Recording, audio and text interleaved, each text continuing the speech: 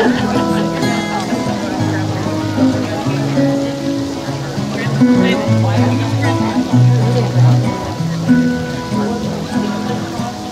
this is the first day of my life. Swear I was born right in the doorway. I went out in the rain, suddenly everything changed. They're spreading blankets on the beach. Yours is the first face that I saw. I think I was blind before I met you. And I don't know where I am, I don't know where I've been, but I know where I want to go. And so I thought I'd let you know. Yeah, these things take forever, I especially am slow. But I realized that I need you, and I wondered if I could come home.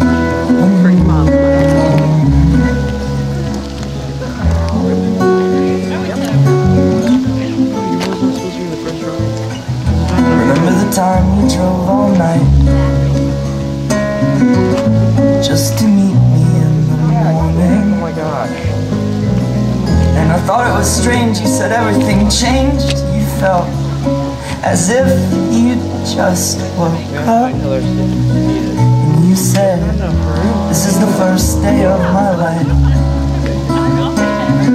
I'm glad I didn't die before I met you. Just go sit wherever you want.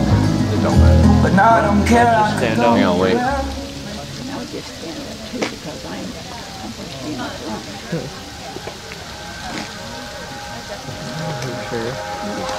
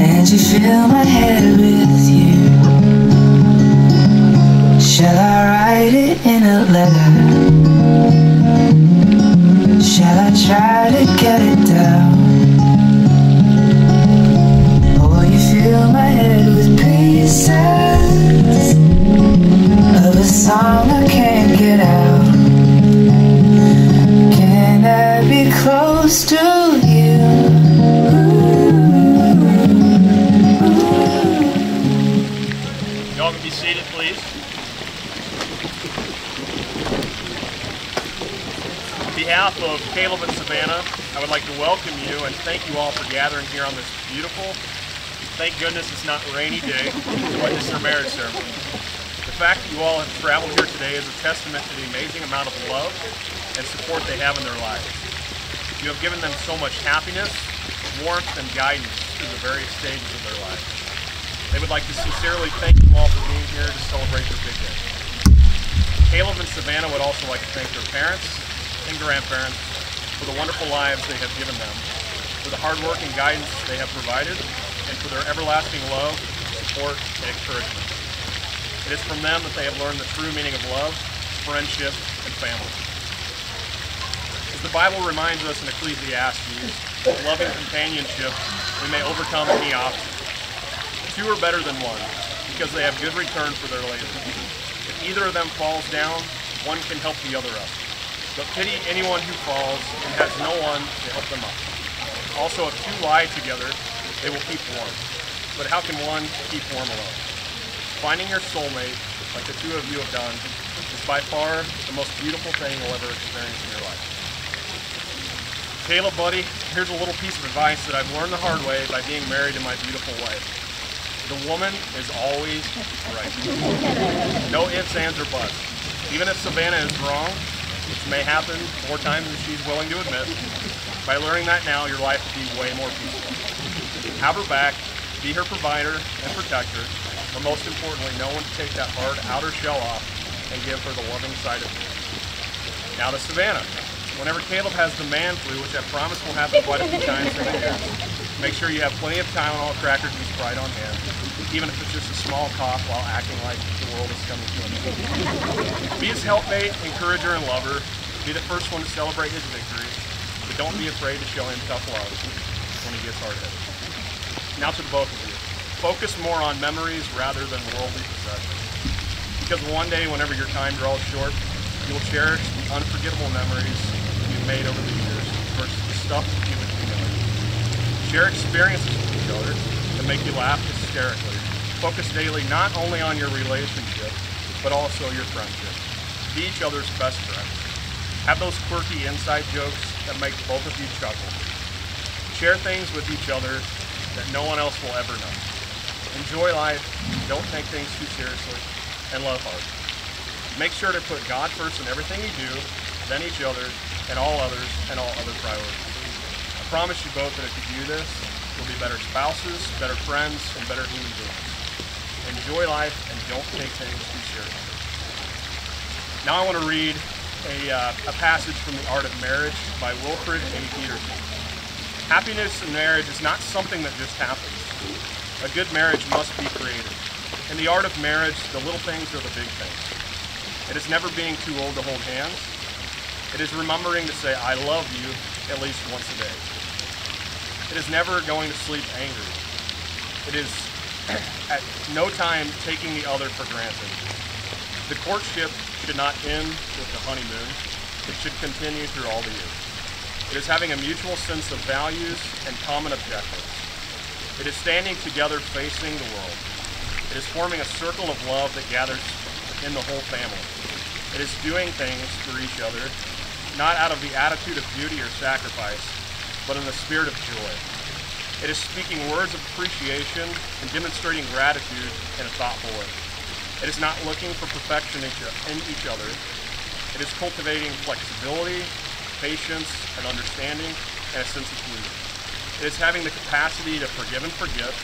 It is giving each other an atmosphere in which each other can grow. It is finding room for the things of the Spirit. It is common search for the good and the beautiful. It is establishing a relationship in which the independence is equal dependence is mutual, and the obligation is reciprocal. It is not only marrying the right partner, it is being the right partner. It is discovering what love can be at its best. Now on to the vows.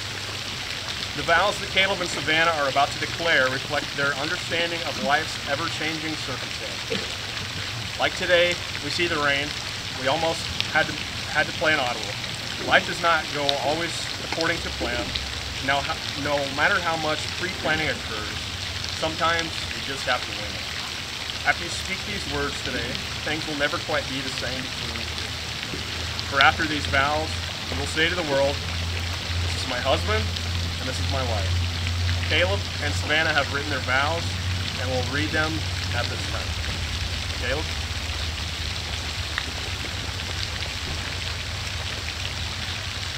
Okay. I love you. You live in me. Think three years ago. we made this song.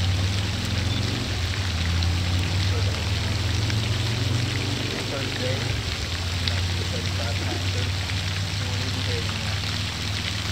Somebody invited me to go. Of course, I.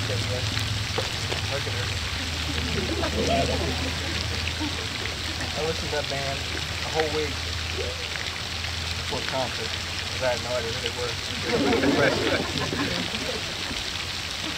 And that one day, I knew we had a start. You know everything. You can listen to highs and lows. Like an anthem. You can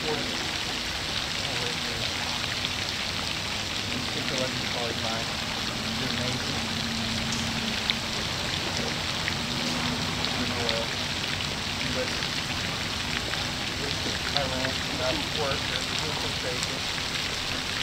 You allow me to be vulnerable. I like to be able to scream every once in a while.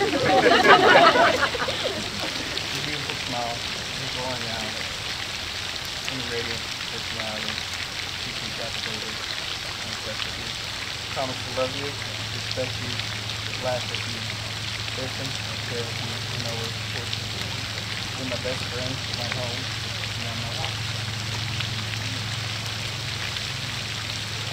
I can't wait to sing this.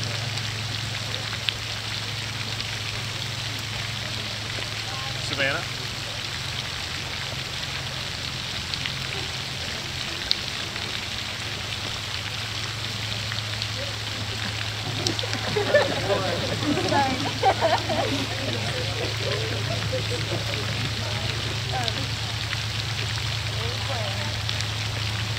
November 29th, was the first time I started to know that I had a We to and he held my hand for the first time so I would get lost in the crowd. That night, we let me I could tell. That night, I got to see very place in my heart. You're the love of my life. And there are a few things that I want you to know. I promise to fill your life with love and laughter. You're your best friend when you get famous. I promise to be by your side. Whether tomorrow will be in your heart. And I will walk with you down whatever path life may before us. I promise to never take for granted the love that you share. And all that I do. These are marriage. I promise to be your comfort, my my life, my love.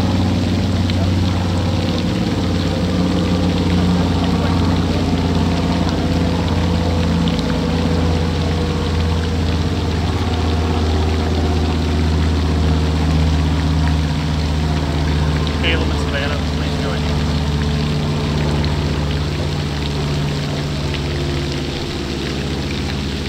Kaleb, your promises to Savannah and mine, you take Savannah to be your partner. for life. You promise to walk by her side forever, and to love, help, and encourage her in all she does. You promise to take time to talk to her, to listen to her, and to care for her. You share her laughter and her tears as her partner, lover, and best friend.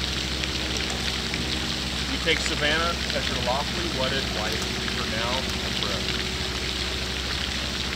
Savannah, with your promises to Kaleb in mind, you take Kaleb to be your partner for life. You promise to walk by his side forever, and to love, help, and encourage him in all he does? You promise to take time to talk with him, to listen to him, and to care for him?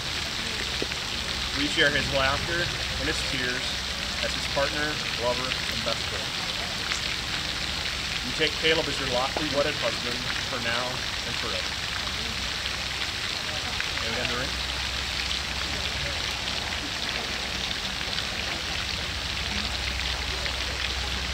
Kaleb and Savannah, these rings are an external and visible sign of the internal bond which unites the two of you. May they serve as a seal of the vows you have made to me, to one another before God, your family, and friends. Kaleb, as you place this ring on Savannah's finger, repeat after me. Savannah, I give you this ring as a daily reminder of my love for you. Savannah, as you place this ring on Kaleb's finger, repeat after me. Kaleb, I give you this ring I give you this ring as a daily reminder as a daily reminder of my love for you. Before we sign the marriage license, I have one more thing I would like you to do. Your wedding day has already and will continue to fly by. It's a day filled with a roller coaster of emotions, family, friends, pictures, dancing, and all the other festivities that will occur later on this evening. I want you to take a few seconds and look into each other's eyes. Think about the happiness that you're feeling right now in this moment. I urge you to let that feeling register in your heart and in your mind and in your soul. Now I want you to think about what your life will be like in 20 years.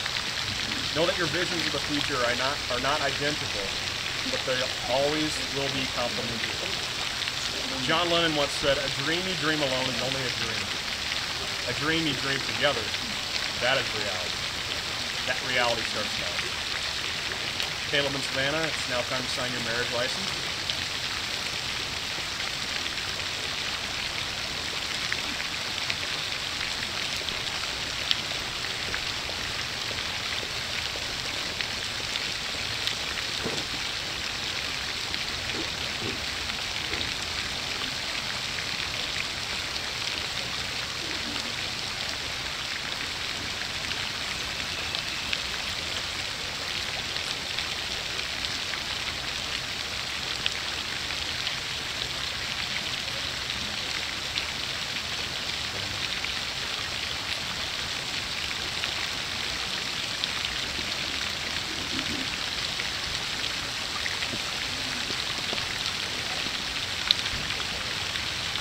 Witnesses, will you please come forward?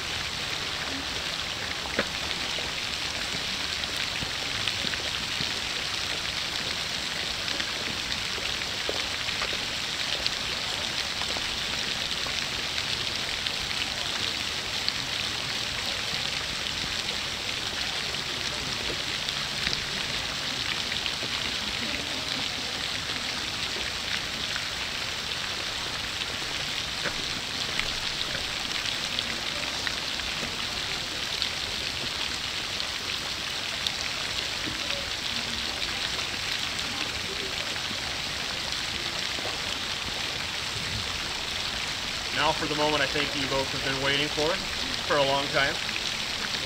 Kaleb and Savannah, before God, your families, and all those present today, I happily pronounce you husband and wife. Kaleb, buddy, kiss your bride.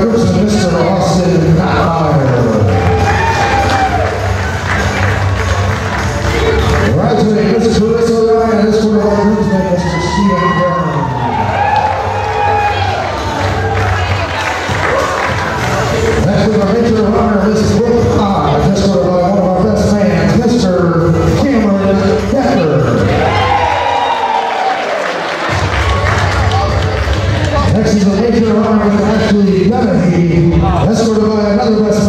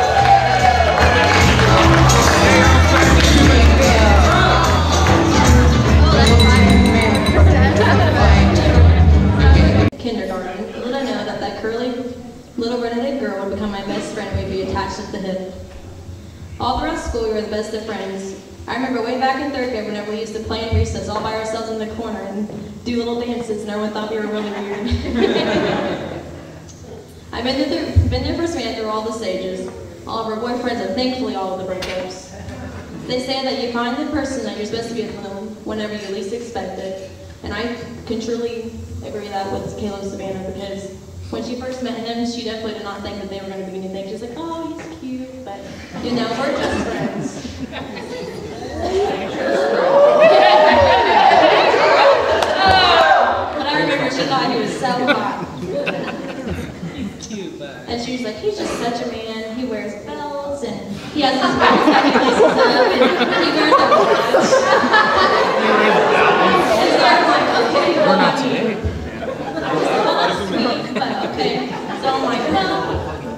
I'm like, I probably gonna meet this guy. And so then when I first met him, I was looking for all these like manly things. I'm like, okay, does he have his boots on? Yeah. Does he have the belt on? Sure. I'm like, where's the watch? so when I was looking at him, I just thought to myself, well, Kaleb just looks like a normal guy, but he's pretty cool. but in all seriousness, whenever I look at Savannah and Kaleb's relationship, I see true love. And the way that Kaleb looks at Savannah is a kind of is the way that is something that you should never stop searching for. I have no doubt in my mind that Kaleb will always support Savannah and love her through it all. And that's enough for me to stand up next to her on her big day and watch her marry the guy that she loves. So here's the love, happiness, and the rest of forever for nagging you, Kaleb. and I'd like to remind you that way back in freshman year when we got married in Melinda's, she became my wife, and you never asked me if you could marry her. but I give you your permission to have her, and I hope that you love her. I love you both. Thank you. Next up is our other member, Miss Ashley Donahue.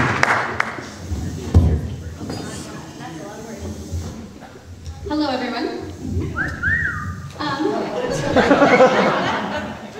um, so I met Savannah and Kaleb a few years ago. Um, Douglas was best friends with Kaleb in I don't know. They've known each other for a long time. Um, and you know, me and Savannah both do hair, so I was like, oh, match made in heaven. That's great. Um, but years later, we really, you know, realized that it was way better than I could hope for. Like you guys are more like family to me than best friends. Um, when Kaleb decided that he was going to propose to Savannah on our Florida trip this year, last year, this year, this year, um, who remembers? I remember that Kaleb came to the apartment that day and gave me the engagement ring to take to Florida because um, he didn't want Savannah to find it in their luggage. But, you know, that's a lot of pressure to put on somebody. I was so nervous. Not like he wasn't. Um, so that trip was really pivotal for our friendship. Um, Kaleb obviously proposed to Savannah um, on the beach, and it was beautiful, and it was awesome, and more than I'm sure they could have hoped for. Uh, but what some of you may not know about that trip is that we all got matching tattoos, um, all of us, of the shaka, also known as the hang loose sign. By definition, the hang loose is to relax and retain from taking anything too seriously. So Kaleb and Savannah, when things get too hard some days, take time to sit back and remember that we're always here for you. Remember how much you guys love each other, and most importantly, remember to hang loose. Cheers.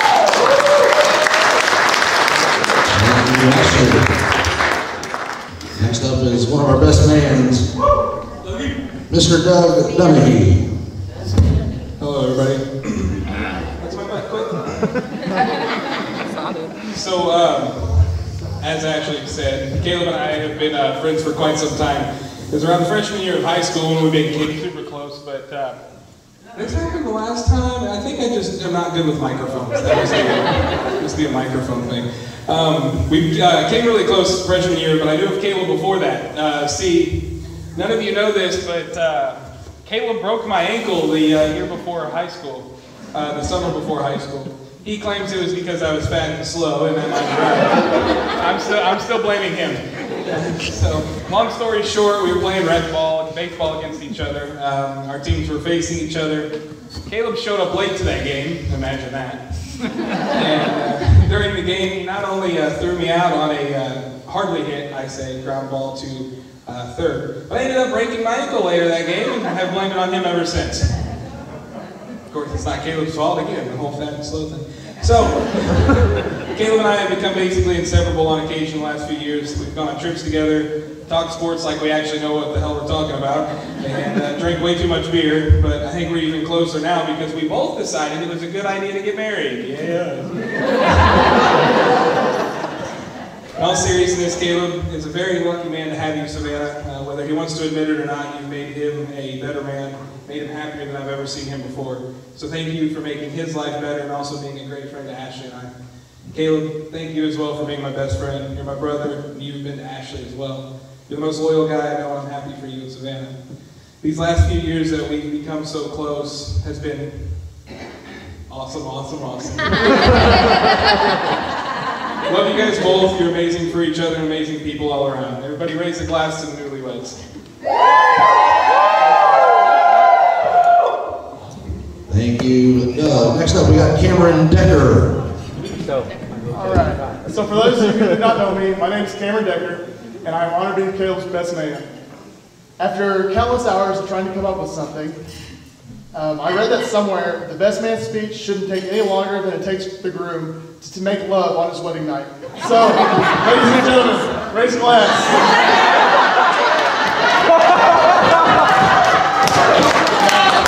I'm just kidding. Okay, that's not the real ending. I've known Kaleb since preschool. We've gone through all of grade school together, as well as high school. We've played sports together since T-ball, and by the way, we're both very competitive. I'm an only child and always considered Kaleb uh, like a brother to me. Uh, we've had a lot of great times over the years, and quite a few we couldn't remember. I could share a few stories, but I really don't want to incriminate either one of us.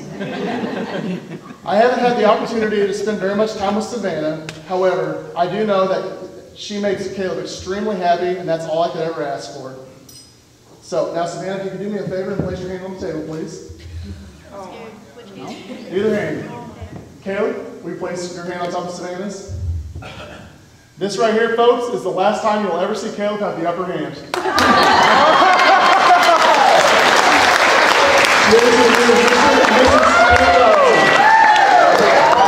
Thank you, Cameron. I wrote a couple songs. I think a couple of the uh, bridal party has to go to the bathroom or something. We're to come out and do first dances. So, run to the bathroom if you gotta go.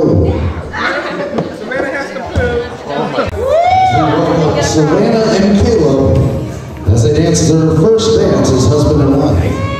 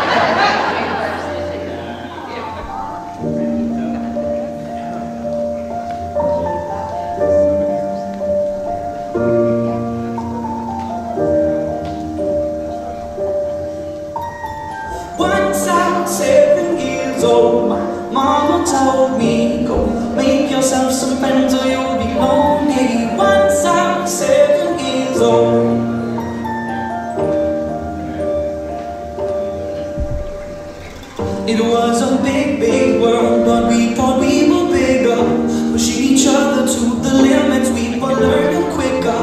By eleven smoking herb and drinking burning liquor. Never rich so we were out to make that steady bigger.